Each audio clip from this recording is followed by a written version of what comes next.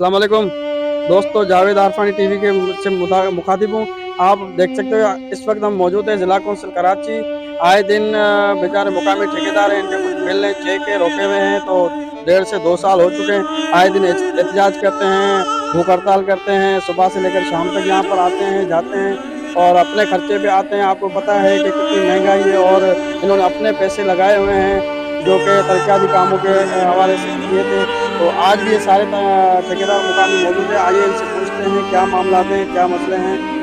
अलैक्म जी क्या मामला है खालिद साहब? तो आपको पता है काफ़ी टाइम से यहाँ पे काम से पेमेंट ये लोग दे नहीं रहे हमें जो है। आपके जो ट्रांजेक्शन ऑफिसर आए थे उन्होंने कहा था कि दस तारीख के लिए हम भी आए लेकिन ट्रांजेक्शन ऑफिसर अभी तक नहीं आ पता ही नहीं चल रहा है क्या चाहते हैं क्या करना है। बहुत परेशान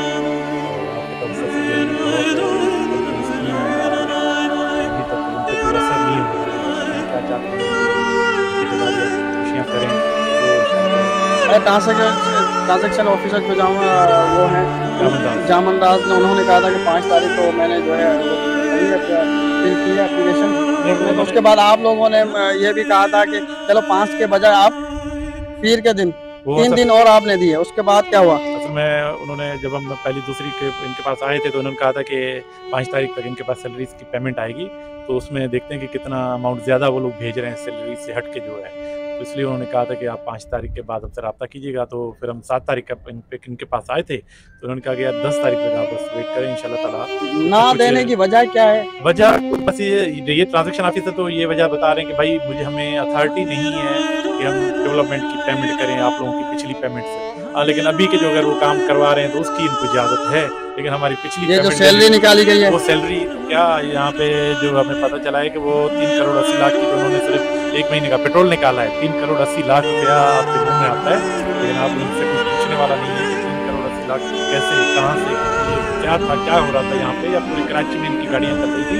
या पूरी कराची की गाड़ियों को गवर्नमेंट की गाड़ियों में उन्होंने पेट्रोल यहाँ से सप्लाई किया है कि तीन करोड़ अस्सी लाख बनाए और निकाल भी नहीं सैलरियाँ भी दे दी लेकिन हमें हम पैसे देने को तैयार अच्छा अच्छा ये आप क्या करें मेरा यही गुजारिश है।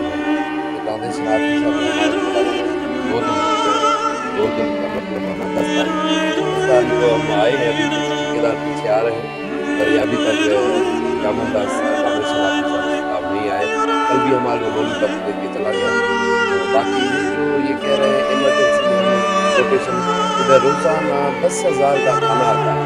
दस हज़ार का खाना खा के अपना टिश्यू पेपर इसकी इसकी कोटेशन जो है, तकरीबन दस हज़ार जो इधर एक छोटे मोटे ठेकेदार होते हैं, वो भरते हैं। वो दस हज़ार से तकरीबन एक लाख, दो दो लाख रुपए की कोटेशन बनती है उनके चेक निकलते हैं।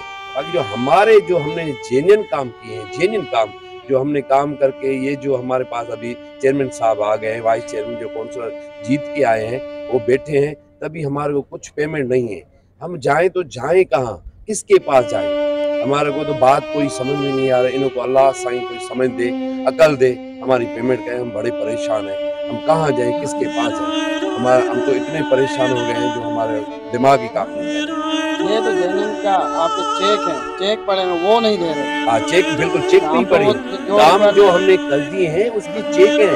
तकरीबन चेक नहीं दे पाँच महीना चल रहा है। पाँच महीना चल रहा है हमारे पेमेंट नहीं। आजकल आजकल अच्छा इसके अलावा गुलशन टाउन है उधर पेमेंट हो रही है। यही काम हो अच्छा कोरंगी है उधर हो रही है साउथ में हो रही है। पता नहीं जिला में पता नहीं पता नहीं क्या है जो जिला वाले पेमेंट नहीं ये जाली पेट्रोल निकालती जाली जो अभी अभी के अभी के जो कोटेशन है, वो निकालते हैं तीन तीन लाख रुपए कोटेशन तकरीबन डेली के मुताबिक तकरीबन दस से पंद्रह होती है। उसकी भी इंक्वायरी की जाए तो मेहरबानी करके जो भी आला ऑफिसर हमारा मतलब सुन रहा है, थोड़ा हमारे जिला ये दोस्तों जैसे कि सुना, ठेकेदारों के जो फाका कश्मीर में मुबतला होने लगे हैं, इनका मुतालबा है कि हुकूमत से कि खुदारा इनकी सुनी जाए, इनकी पेमेंट जो फंसी हुई है, इनको दिलाई जाए, दी जाए। तो यही मुतालबा है जी हैं कॉन्ट्रेक्टर्स और हम इनके साथ हैं, जा रहे हैं अकाउंट्स ऑफिसर है कोई उनके पास तो वही इनके मामला के हल होते भी हैं कि नहीं होते हैं।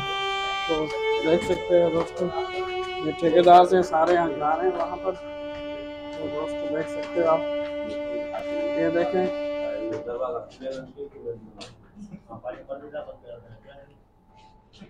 ये मामला है यहाँ पर आके रुके हैं। मामला क्या है? क्यों रोक रहे हैं? क्यों नहीं?